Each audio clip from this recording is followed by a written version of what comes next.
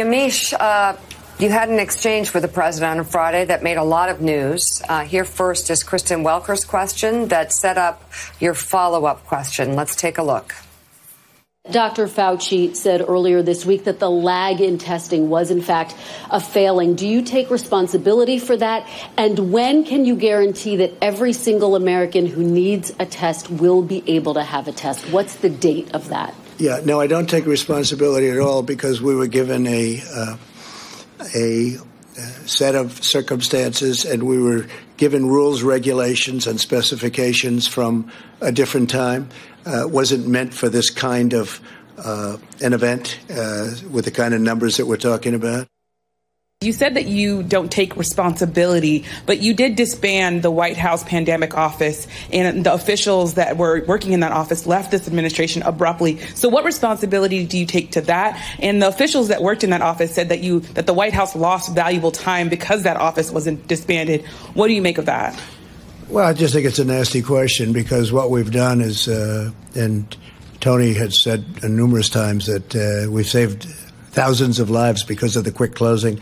Uh, and when you say me, I didn't do it. Uh, we have a group of people. I could, I could ask perhaps my administration, but I could perhaps ask uh, Tony about that because I don't know anything about it.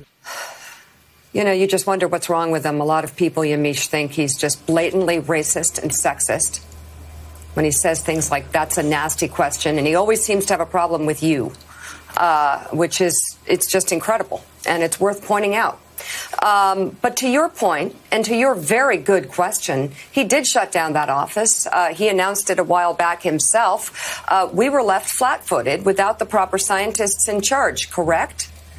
That's right. The White House under President Obama had this office that was de- that was to deal specifically with pandemics. They were going to be monitoring the entire world to look out for things like polio outbreaks or SARS. And the Trump administration in 2018 disbanded that office. Uh, officials left the administration abruptly. Those people were not replaced. And then the president continued to, to go on as if it was okay. This happened under John Bolton, his national security advisor, and the president now is saying that he had no idea if that why that happened and and didn't have any idea or any responsibility for that happening. Of course, again, this was his administration. But Mika, what this moment really calls for is credibility and leadership and compassion. And unfortunately, a lot of people think President Trump just isn't showing that. You have compassion in the fact that there are people that are so scared, that are crying, that want to go visit their neighbors and can't do that. And you have a president who starts his last press conference talking about the Fed cutting rates. You have a president who is saying everything's under control. We're going to get through this.